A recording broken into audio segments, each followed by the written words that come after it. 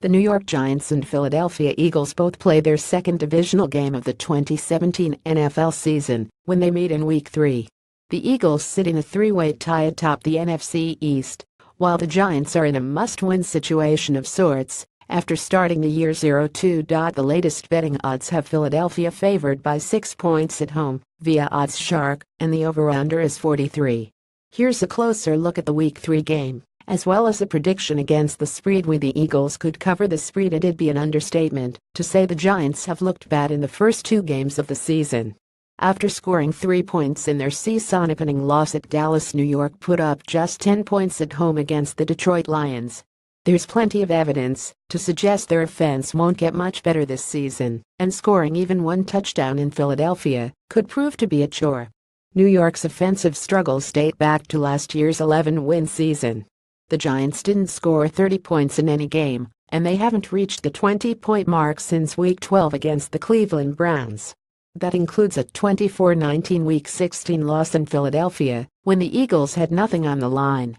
A few teams have showcased awful offensive line play through two games, and the Giants don't take a backseat to anyone in that department. Eli Manning is tied for second in the NFL in sacks, and he's seemingly under duress during most of his dropbacks.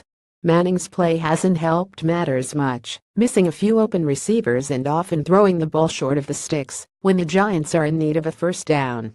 Top Eagles 2017 Grades through week 2 at PFF Flygles flypick.twitter.com 6 Ucturan PFF Phi Eagles at PFF Philly September 19, 2017 All of that spells trouble for New York against Philadelphia, who can get to the quarterback better than most teams.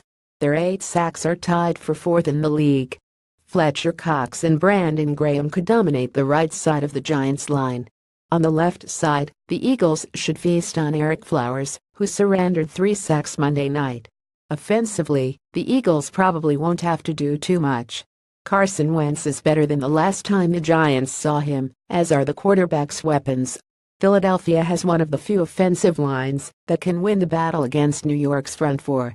Why the Giants could cover the spread Onion who watched New York in 2016 knew that the team would struggle to move the ball this season. An immobile quarterback and an offensive line didn't stop the Giants from making the playoffs a year ago, and there is a path for them to leave Philadelphia with a win. New York's defense is good enough to win in spite of its offense. After ranking second in points allowed, the unit might be just as tough to score on this season. Dallas dominated time of possession in Week 1 and only managed to put up 19 points.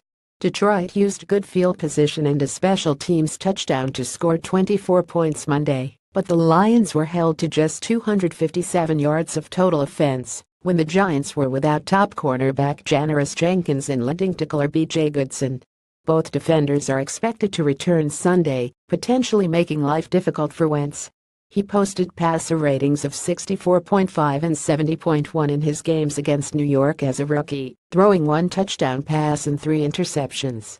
The quarterback didn't have bad numbers against a good Kansas City defense in Week 2, though he only completed 54.3% of his passes. A dropped interception that turned into a 53-yard gain for the Eagles boosted his passer rating to 83.0. The New York Giants are betting underdogs against the Philadelphia Eagles in Week 3.